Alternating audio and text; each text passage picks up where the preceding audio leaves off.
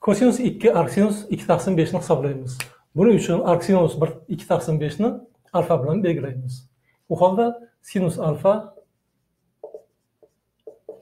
2 taqsim 5 ga teng bo'ladi. Sinus alfa musbat bo'lganligi sababli alfa birinchi chorak burchagi bo'ladi. Kosinus 2 alfani topish kerak. 2 ko'paytiruv alfa, mana bu alfa. Buning uchun biz quyidagi formuladan foydalanamiz. 1 minus kosinus 2 alfa teng 1 minus 2 sinus kvadrat alfaga teng. sinus o'rniga 2 taqsim 5 ni qo'yamiz. U holda 1 minus 2 buni kvadrati 4 taqsim 25 ham teng 8 25 minus 8 taqsim 25 yoki 17 taqsim 25. Shunday qilib, mana bu ifoda o'n yetti taqsim yigirma beshga teng ekan.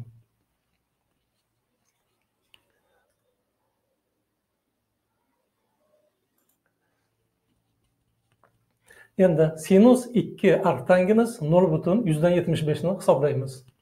Buni hisoblash uchun kelinglar arktangimiz nol butun yuzdan yetmish beshni alfa bilan belgilaymiz. U holda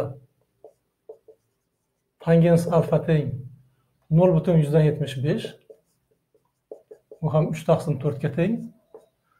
Tangens alfa musbat bo'lganligi sababli musbat songa teng bo'lyapti. Biz bilamiz artangens artangens b va alfa mana bu oraliqqa tegishli bo'ladi. Minus pi taqsim ikki pi taqsim ikki musbat bo'lganligi sababli alfa birinchi chorak burchagi bo'ladi. Hop endi bu ifodani hisoblaymiz. Sinus ikki alfani topish kerak. Sinus ikki alfani tangens bilan bog'laydigan formula bormi? Ha bor.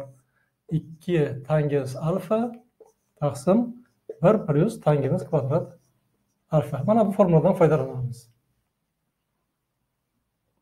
U holda teng bo'ladi. Ikki tangens alfani o'rniga uch taqsim to'rt yozamiz. Bir qo'shuv tangens kvadrat alfa to'qqiz taqsim o'n olti. Ya'ni kasrni surat mahrajini o'n oltiga ko'paytirib yuboraylik holda teng bo'ladi. Ikki bilan to'rtni qisqartiramiz bu yerda ikki qoladi. Uch taqsim ikki ko'paytiruv o'n olti. Bu yerda o'n olti qo'shib to'qqiz yigirma besh.